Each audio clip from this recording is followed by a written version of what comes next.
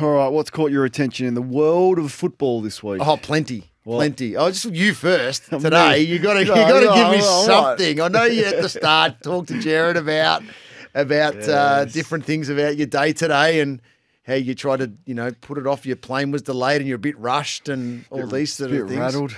bit rattled mentally. Yeah. But can you give That us? was good. give us something? Honestly, I, I, I do really enjoy. I don't know why. It's an enjoyable experience being part of it. Um, thankful to be in the room with with the other you know great minds that are in there.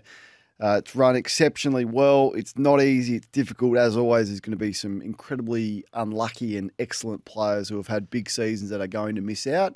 And as I said to Gerard, you, you can get it to 26, 27 pretty comfortably, as you would know, doing Yes. this every week. Getting it to 22, and we're, we're nowhere near that stage yet. The final meeting will be after round 24 on the Monday. Um, How much time did you put really into the forward pocket today? Because that's the one position that I've battled with all year. Yeah. Um, well, as sort of Gerard alluded to off the top, I think the narrowing down your key defenders this year, for whatever reason, has been really difficult. Some through injury, some through a poor first half of the year, some through a poor back half of the year. I don't think there's been, I think there's been one key defender who's been really consistent throughout the 24 weeks. I don't through injury and, and suspension and, and other issues. Um, and the ruck's difficult. I don't think, I don't think there's been Yep. a standout. I think it's not not giving away too much to say there hasn't been a standout ruckman. Given Gill was an A grade uh, ruckman in Exactly the amateurs, right. Very- did, did he get the, to the casting very, vote again? Very passionate about that. And then the and then the small forward is so. uh, honestly, I think the last two weeks is important for a number of reasons. Totally, totally Yeah. agree. Is it is it something? Are you guys okay if we go through a bit of it and set up the the sports day ladder predictor for the next couple of weeks, and we actually set up Your segment, how, how we think. Well, I've got to get your. This isn't got to get like your buy-in on this, as though, long Gerard. as it's not like your number one Guernsey idea. okay, It's just as long as Geez, that's that's the positive last. feedback I got off. Yeah. Yeah, there was two negative people. They were you pos- two. They were positive. So and set- set, set this up for us. So, so what I want to do is I want to create the next two weeks. We pick who's going to the, the wins and losses to create our ladder. We're picking the post- eight teams. We're picking the Yeah. we're picking our final With eight. the ladder predictor. So the consensus is though. So if Gerard and I think Brisbane are going to beat Collingwood this week, but you're Collingwood too bad. Yep. Okay. We set up. We've all got to agree to it at the end of the day. I've got the ladder in front of me. All right. So let's let's start rolling through them then. Okay. Collingwood v Brisbane is the first game, and it's a tough one. I think with Collingwood's injuries that uh, they they now have. All right, game got? at Marvel. Who are you going for? I'm tipping Brisbane. Same here. I was going to go Collingwood, but uh, the majority wins, so I'll go Brisbane. Brisbane. Okay, so Richmond versus North Melbourne. Tigers. Tigers move on to that one. Now, Gold Coast versus the Blues on the Gold Coast. Well, the Blues, but I wouldn't be surprised if it's an upset. But for the purpose of this exercise, Size. I'm going the Blues. Blues, Blues, it yep. is. Okay. GWS versus the Bombers At home. the at home for the Giants. Giants. Giants. Giants. Yep. Okay, done. St Kilda versus Geelong at Marvel Stadium. Geelong. Saints. Oh, see, this is where it gets. It's over to you, Jono. Uh, come on, John. We've Yeah, got 18 this is games mine. to get through This here. is mine. Okay, let's get through it. I'm going for the Cats. All right. Majority wins. Yep, Adelaide versus the Sydney Swans. Adelaide Sydney. Oval. Adelaide. Adelaide. Okay. All right. Sunday game. Western Bulldogs versus West Coast. Western Bulldogs. Melbourne versus Hawthorn at the MCG. Go Melbourne. Melbourne. Melbourne. And Port Adelaide versus Fremantle at Optus Stadium. Mm, I think Fremantle are going to win that one. But You think Freo? I do. Oh, I think Port. Gerard? Port. All right. Okay, Next round. Port. Okay. Next round we're up to. All right. Let's from uh, Essendon versus Collingwood at the MCG. Pies. Pies. Pies. pies.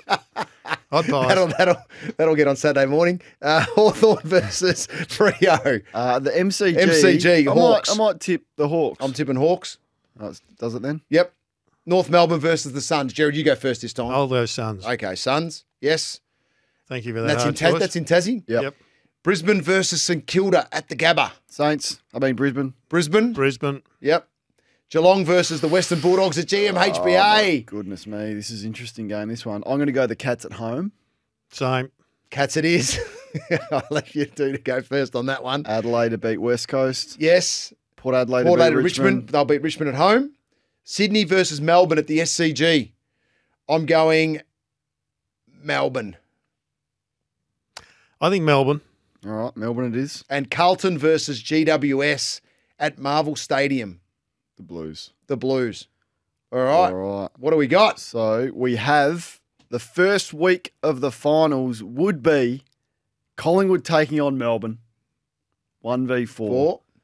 We would have Brisbane hosting Port Adelaide. 2v3 at the Gabba. That's big for the Lions if they can achieve that. We have the It's Blues. big for the uh, for Port too if they can win that. Yes. Get a home- yes. our home prelim. We have the Blues playing your Western Bulldogs, who sneak into eighth position, just over the Saints on a percentage of three points. Yes. Gee.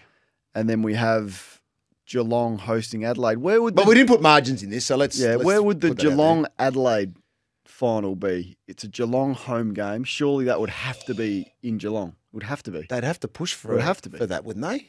Wasn't there- Not would- with these No, stadiums. Not Adelaide. with the- Adelaide get a good No, following. it has to be. No, They- way Adelaide- known with the stadium. Nah, They've earned- stadium half full. They've No, earned No the chance. right No. to host a final. No, that's against like me saying now interstate team. that Bulldogs and Geelong in round 23, 24 should be moved No, because well, 10,000 Dogs fans don't get to watch it. Geelong it. have played Fremantle at home before. Yeah, in but with a full final. stadium, not Full- with half the full stadium. They've earned, they've earned a home final regardless. I played in the grand final when the stadium They play was home games at the G. half under construction. Not sure that's a comparison. Well, it's probably not, but it's, it's, you just you cop it. So that's interesting because what we've got there is the Bulldogs and Geelong playing each other but both making it, which if some of the results obviously go different ways, that game is massive in, mm. in round 24. Right, we will post our sports day finals brackets to our social media accounts, and we'll see how accurate Love it. we are. So what we're saying is of there's not going to be one upset in the next two weeks. well, we've got St Kilda dropping out, Sydney dropping out, Giants. dropping Giants, out. yeah, and Essendon not making it. So I think we've been quite Gee, the mm. Adelaide Sydney game this week is Huge. just, is just ginormous. Mm. All right, that's how we've got Let's it. see how we line uh, up. I'm sure we'll be wrong. Uh, what else did you want to talk about? Just with Collingwood's backline, Gerard, I know we had a little bit of a discussion Yep. about this um, the other last week, and just Darcy Moore went out of the game, and it just as good as Darcy Moore is. I'm not saying he, you know anything about his role within the team, but what it did, it just straightened their defence up more, back shoulder, man on man, not relying on you know a, a, an opposition player getting up behind the contest and dropping off, going with, and just changed their dynamic, which actually looked pretty good. Do you understand? I thought. Do you understand the fallout with the Collingwood fans over this comment? Why? I'm not saying anything Are you saying negative about Darcy Moore and his role. Absolutely not. Better off without him. No, I'm not. But what I'm saying is that what they did structurally to assist him being off the ground and assist their defence was a was a, was a good change. That if a, something does happen to Darcy Hmm. over a finals night or campaign, Because I don't. they know- think that I think they'll still be still be okay, No, but they'll have to play a more structured role that that Gerard and I witnessed. You don't have to defend it to me because I'm, I'm with you. I said on Monday night that uh, whoever he does go to, I know he doesn't go to anyone really, he just sort of backs himself to almost play as a forward, would be licking their lips. You imagine if Darcy Moore went to you, being as smart a forward as what you were, knowing that he was going to pay you no respect and charge and try and intercept the ball, you'd get Hmm. him behind him, you'd do all sorts of multiple leads and tricks. I think he's vulnerable. As, as, as much as the Pies fans Darcy Moore is love vulnerable. his year, if the if they if they do poor turnovers or don't put pressure on the exit. That's when Darcy Moore's most He's a vulnerable. That's- byproduct of but the that's pressure. whereas that's whereas forwards when you used to love your opposition player going in front of you or playing a bit higher or, or running up, as long as your your teammates created the turnover in the right spot. Yeah. That's when you could really cash in on getting him out the back a couple of times. So that would then change his positioning and thinking he's, oh, I've already had two kicked on me. And it was a different time, but oh, I already had two kicked on me. I better come play back shoulder. Then you just start playing your natural role on these on these guys. So it really does rely on what happens up the field. And it relies on his offensive influence as well. Like if he's not taking five, six intercept marks per game hmm. as well, which he hasn't, and he's been scratchy and he's fumbly and he hasn't been the weapon that he was at the start of the year, then you get exposed also with with that one on one stuff that has has reared its ugly head. Uh, what do you make of the Bombers? You've been hot on them all year. Yeah, I have been, and I've, I've enjoyed watching them this year. And their last couple of weeks have been average against sides that they should have really smashed. But maybe it's a personnel thing, and they're set to get back Caldwell, Draper, Shiel, and Stringer. Now I know we haven't tipped them, but Draper's a massive Is there- influence. He's been a huge. I agree, out. Gerard. Massive so out. There, there could be. They- could surprise in the next couple of Yep. weeks with those four players in particular back into their lineup. Then I think Draper's the big one. But outside of that, Caldwell, what he can offer around the ball, Shiel half forward around the ball, and Stringer forward pocket up around the ball at different stages. They're pretty important players to the to their success as a club. Do you think their opposition will take a leaf out of Alastair Clarkson's book and tag Zach Merrett? I think you have to put time into Zach Merrett. Absolutely. It's amazing Because how this is can take- evolving. it's it's just emerging, But- coming the Coming. critical time of the year. Don't you worry about it. He's their that. most important player, Zach Merrett. He's and he's their captain. And if you can take the captain down, you're taking Cut the head th- off. thirty really good disposals away. And if he gets ten to fifteen scratchy ones, that's a. So they move him to the win. forward flank like they have done. Well, a that's a win in itself. times. If you're moving Zach Merrett out of centre bounce or stoppage, you've you've won the battle. It happened earlier done in the year, and he kicked three Yeah, it was goals. was against the Blues against the Blues after half Yeah, time. okay, Yeah. it was. Um, there's a text coming here saying the AFL has already said that they've already announced that there will be no final in Geelong because of the delay Yeah, of the go. stadium being built. I would be upset if I ran the Cats and We're upset and not getting home the- finals at and that was Marvel. the case. Yeah. We had to go to the And- MCG and to rightly- play home and ri- And finals. rightly Just, so. just hold What? your protest So play- until the stadium is built, and then go 100, percent and you'll, everyone will jump on we used to play the. Swans in a final at the MCG or the Brisbane Lions, and J- our home ground was Marvel. Richmond got incredibly lucky for a couple of those big finals that they weren't held in Geelong and they had to be played at the MCG. And I get it, but you know, I think Geelong have got a right to feel a bit aggrieved on occasions with this. Uh, all right, uh, Jono, let's move on to your old mob, the Western Bulldogs. It was pretty disappointing, wasn't it, to with the outcome on the on the weekend and, and doing the game and you know their second and third quarters the way that they were, um, you know, beaten quite convincingly by the Hawthorn midfield. And look, it's it's hats off to the Hawks. I, I think we've all enjoyed watching Hawthorn's development this year under Sam Mitchell. I think he's done a fantastic job. I think tactically he's getting stronger and better as a as a coach. The more that he's rolling this team out, the belief in in each other is is huge. Newcombe is just a He's a beast. weapon. Oh, a game, what he was able to do and the physicality that he showed, but then in a defensive nature, but also in an offensive nature as well with his don't argues and his ability to bump off his opponent and win the win the ball was was outstanding. And across the board, their work rate was just significantly better. And it was it was great to watch. And in the end, you sort of sit back and you tip your hat to them and you go, okay, they're on the they're on the right path.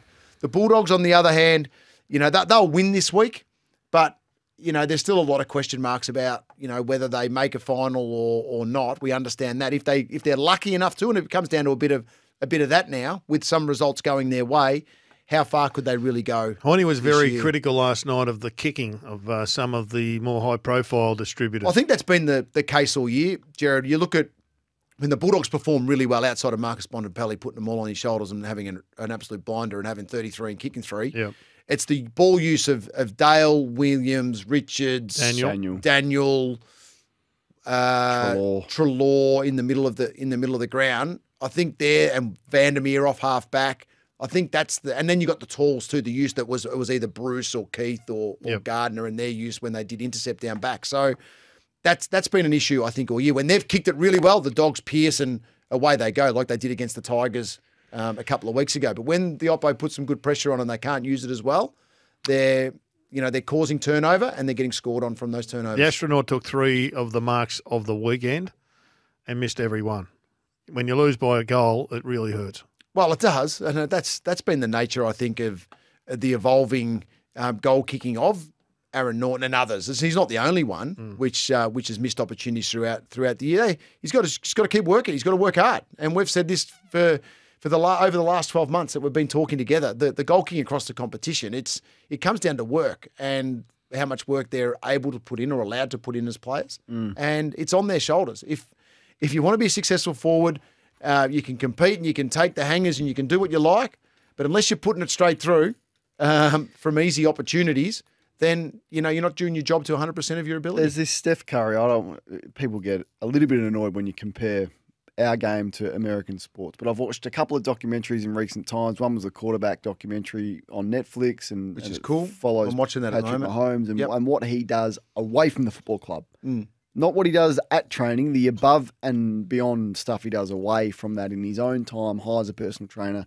I get he signed a contract for half a billion, so it makes it a bit easier. Steph Curry, there's another documentary on Apple TV about him and what he does away from his training time to work on his shot, to work on his strength. He's got his gym at home and the extra stuff that he does to be the best shooter that we've ever seen. I still think we can learn from that, John. It's a big bugbear of mine that these players don't put in enough But time. some some do, and the ones that are successful do because you look at. And I know the Bont and Josh Dunkley and So a couple tell of me- others go, so go to America tell- in the off so tell season me, and, yeah, and t- train, yeah. and but it's it's off their own bat, and Has it yes, through a moved little bit of sponsorship and bits and pieces, but they're doing it to get themselves during set the up week, for. Uh, a, What for a- about during the 24 season. weeks of the season? That's I, I don't know. How many I guys know. should think? On I a know what I used to do, Gerard, but I don't know what the players do I today. would I, I couldn't tell y- you. Whenever you retired, 12, 15 years ago, whatever it was, you would have done more training then than they're doing now. And how, how- because of this movement, oh, we've got to give the players time off. We've got to give them mental relaxation. Geelong sort of started and everyone's copying.